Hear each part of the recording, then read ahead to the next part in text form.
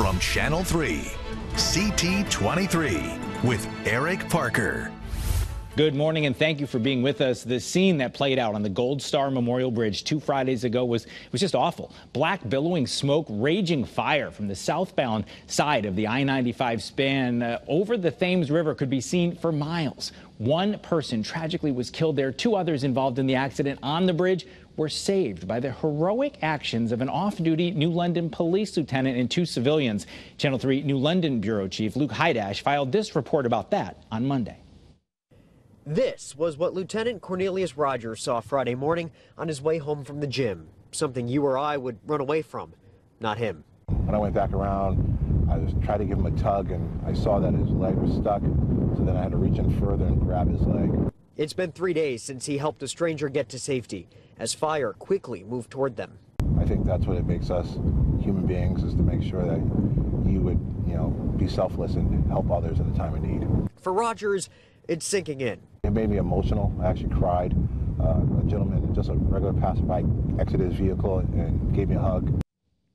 There were other heroes that Friday morning. Joining me to talk about the entire emergency response is New London's Fire Chief Thomas Curcio. Thank you very much for being with us, Chief. I know you guys, your crews, your men and women respond to the bridge for incidents all the time 60,000 cars a day. It's bound to happen. But when a big one like this comes in, is the response a little different? Um, yes, no, normally any given day, um, we share the responsibilities up there with Groton uh, Fire Department. It's either Poquonnock Bridge or the city of Groton. Um, we have a standard operating procedure in place that whenever there's an incident on there, uh, both departments will be dispatched.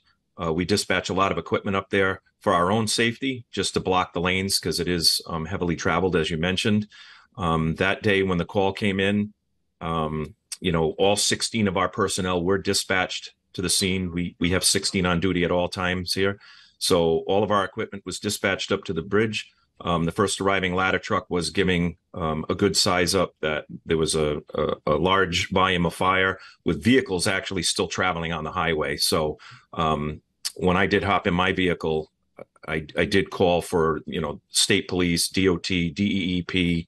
Um, I even cr- call for the crash truck from um, the Groton-New London Airport because I, I didn't know at that time what actually was burning. We could just see the plume of smoke from here at the firehouse at headquarters. Um, we did. We got up there, uh, shut down both highways because we didn't know what was burning underneath. Um, Poquonnock Bridge had just arrived before us. Um, we pulled up um, shortly behind them.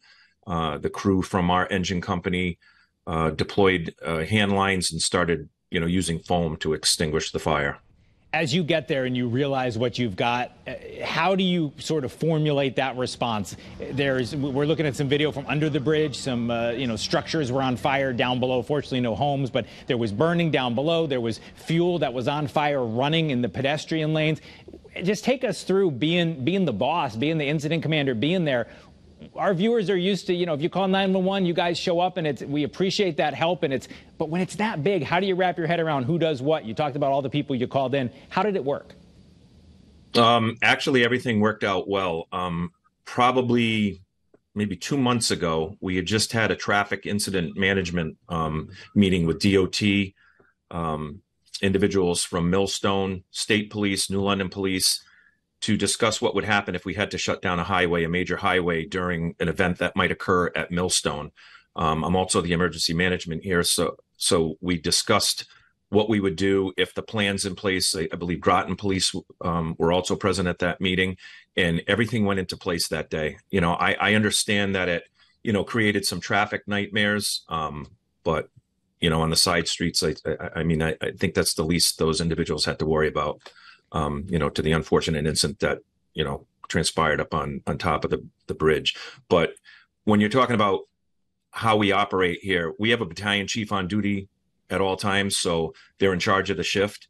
And um, I, you know, I was here at the time, so we both responded at the same time. And I, I just realized that, you know, we were over water. Um, we didn't know where that fuel was going. We didn't know if it was gas. We didn't know at the time what it was um, just that a tanker truck had rolled over. Um, our our dispatch center here in New London did a phenomenal job because uh, I think in the in the first few minutes I rattled off like ten agencies I wanted to respond, and then it continued even more when we got up there. So I was lucky to have an additional battalion chief in the building that day. Uh, he was here doing some training, and um, you know, he came over and told me, "Look, I can see the smoke plume from here at headquarters." So I asked him, you know, just get your gear, hop in the rig, and, and we left. Uh, you know, we call for a tanker task force, um, which brings in additional water to the scene because uh, there there are no water supplies up there on the bridge for us, which worked out really well too. Um, you know, we had companies as far as Hartford responding with foam, which we we canceled. But talking about communications, the extra battalion chief that I had actually went below the building, uh, below the bridge. He was actually able to crawl over on the pedestrian walkway and walk down that way and get to their command center.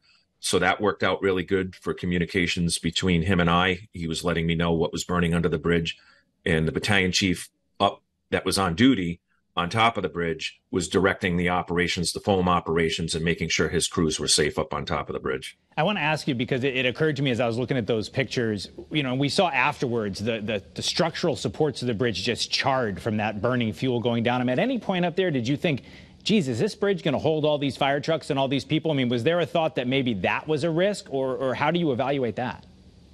we did every day because of the static load of our apparatus up there. We're we're worried about maybe one of those bridge bridge spans, um, you know, not being able to support that weight. I mean, we had a lot of we had a lot of trucks up there at once, and then we started bringing them off and only leaving one at a time. And if we needed to shuttle water to that engine company was up there, we did that, and um, you know, withdrew all of our ladder trucks and support vehicles.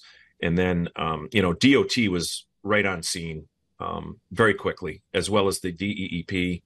Um, we had the Coast Guard down below, the Marine Group we requested there there was a lot of resources that were there and um, you know i think everything went very well. Um, you know the rescue of that individual that was in the car i'm i'm i'm very or we're very lucky and he's very lucky that he was not trapped in that car because there was substantial damage to that vehicle um, afterwards that we realized. And uh, you know for lieutenant rogers to be there and those other individuals was um, you know a matter of minutes before the fire engulfed that car. So that was huge.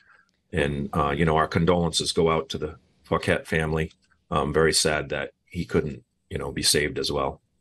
Well, it certainly was, as you said, an incredible response from so many different agencies, and that's why we wanted to talk to you to get an idea of just what went into putting it together. And, and as you said, there was the tragic loss of life, but all in all, a pretty amazing that everyone could work together, operate like that, and get that under control as quickly as possible. We really appreciate you joining us here on CT23, Chief. We hope we'll have you back in the future, and, and good job to all your folks and those on the Groton side as well. Thank you. Yeah, very proud of our crews. They train they train hard every day. They're doing something every day to train and get ready for the next incident. So I thank you. All right, Chief Thomas Curcio from the New London Fire Department. Thanks for being with us.